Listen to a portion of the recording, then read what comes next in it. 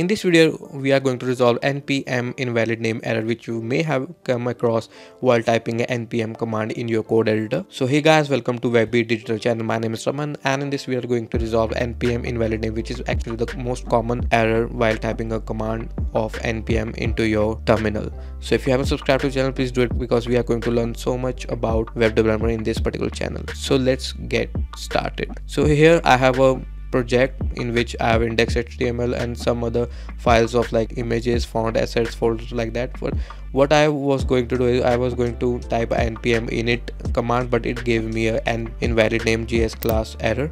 So to resolve that what you need to do is you need to find a folder where that your project folder in your finder in your window explorer or in your finder but so here is my folder what i need to do is go to that folder and rename that and delete all that particular spaces okay? And after deleting that spaces you need to open that project again because you have deleted all the spaces like that. And when you open that in the new video window and click on new terminal and type that particular command again like uh, npm init slash y hyphen y. So yes it just created a package.json so that's how you can resolve it. So if you have learned something from this video do click the like button. And if it has resolved it why this error occurs is because for the npm that spaces is not the url friendly. That's why it has created the error. So that's why it's created the invalid name error. So if you want to learn more about the web development about error if you have came across any error just click on the description